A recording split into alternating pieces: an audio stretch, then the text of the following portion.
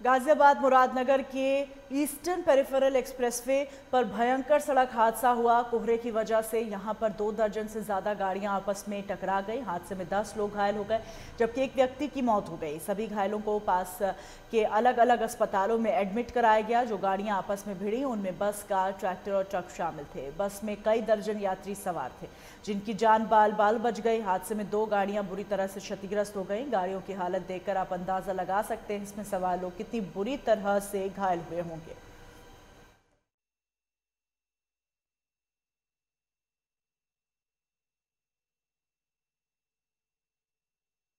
आज सुबह करीब साढ़े सात, आठ बजे के आसपास बहुत ज़बरदस्त सड़क पे कोहरा था।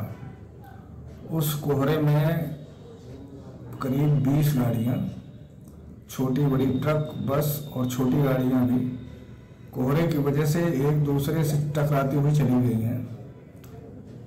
इसमें एक दिल्ली पुलिस का सिपाही धर्मवीर सिंह, जिसकी डेथ हो गई है, वैगन आर गाड़ी में था। और एक इसी गाड़ी में सर्वेश था, वो भी दिल्ली पुलिस हेडक्वार्टर में तैनात है। उसको चोटें आई थी, उसको अब विनायक अस्पताल भेजा गया है, इलाज के लिए।